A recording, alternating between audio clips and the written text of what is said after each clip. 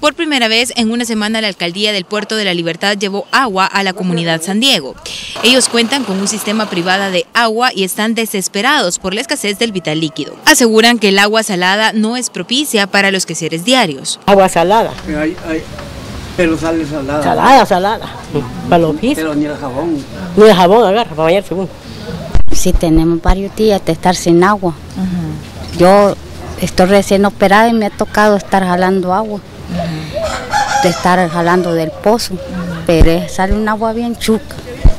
Al querer conocer la versión oficial de por qué no hay agua en la comunidad, la encargada de la cooperativa Dolores Hernández reaccionó así ante la denuncia de los demás habitantes. No ha habido agua, mi amor, por sistema de que la situación de la bomba está arruinada y usted sabe que una cosa de esta, para arreglarla lleva lleva este trabajo y lleva calma y paciencia, porque yo no voy a estar apurando al que me lo está arreglando, si cuando usted sabe que si lo estoy apurando me va a dejar una cosa mala.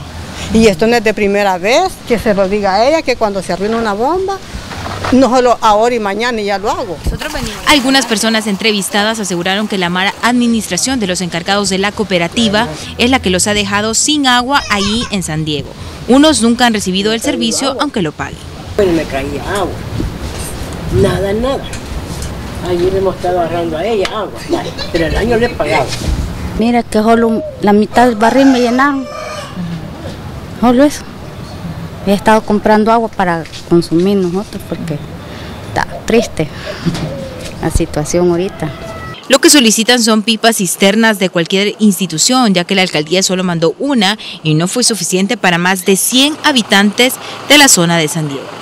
Para frente a la comunidad, Andrea Navas.